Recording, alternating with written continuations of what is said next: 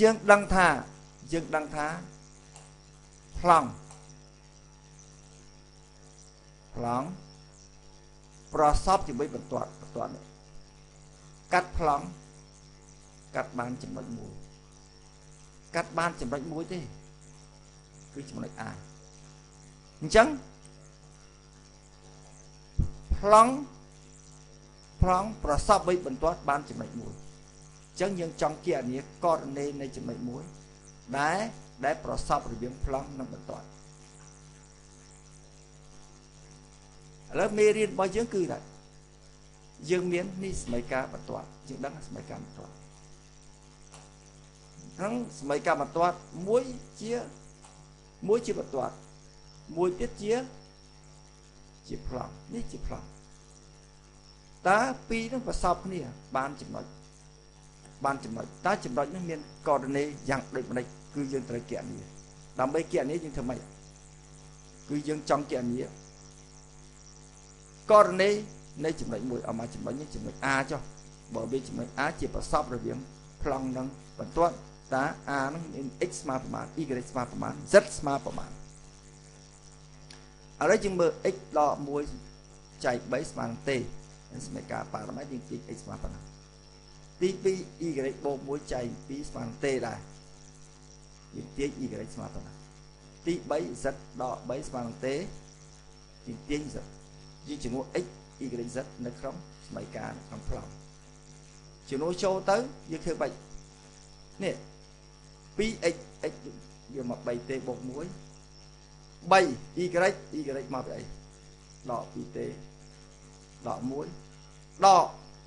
z z គឺទេបូក3ពេលនេះយើងគណនាទៅឃើញមិនយើងគណនាទៅឃើញគណនាទៅឃើញ2គុណ6ទេបូក2ដក6ទេដក3ដកទេដក3អញ្ចឹងទេ6ទេអស់ហើយអស់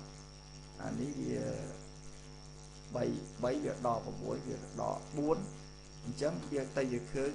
ដកទេដក4អញ្ចឹងទេស្មើដក4 ពេលទេបានដក4ហើយយើងអាចរក x y z បាន x y z បានគេរកយ៉ាងម៉េចយើងជាមួយទេស្មើ4ក្នុង1ក្នុងណាក៏បានដែរក្នុងជាមួយ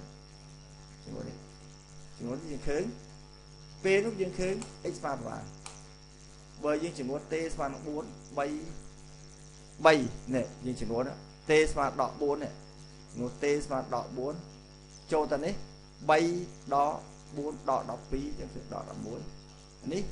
ដក4គុណ8 8គឺដក1គឺ7ដក4បូក3គឺដក1នេះជាចំណុច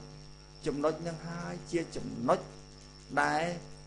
ប្រចំបន្ទាត់នេះកាត់ប្លង់បានចំណុចនេះចំណុចនេះហៅចំណុច E គេហៅថាគេហៅថាចំណុចប្រសពឥឡូវជាផ្ទៀងផ្ទៀងបើគេថា E ហ្នឹង ជាចំណុចប្រសពមានតែ E ហ្នឹងស្ថិតនៅលើប្លង់ផងស្ថិតនៅលើបន្ទាត់ផងអញ្ចឹងកាលណាវាស្ថិតនៅលើបន្ទាត់ឬស្ថិតនៅប្លង់ផងតោះតែវាផ្ទៀងទាត់វាផ្ទៀងទាត់បន្ទាត់ផងផ្ទៀងទាត់ប្លង់ផងឥឡូវយើងជំនួសនៅក្នុងអីឥឡូវខ្ញុំផ្ទៀងទាត់ខ្ញុំផ្ទៀងទាត់លើប្លង់ដើម្បីដឹងថាវានៅប្លង់អត់យើងជំនួសទៅ